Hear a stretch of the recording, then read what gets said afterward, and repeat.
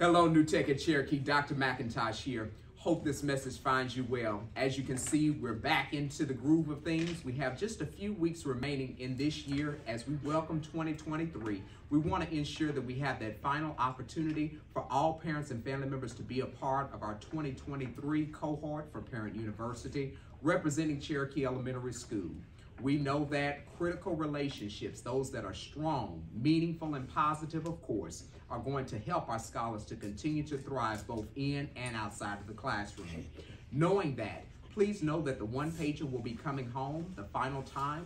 Please make sure that you reserve some time to fill that out if you want to be participating in that cohort that's going to start January 2023, right when we come back from our winter holiday.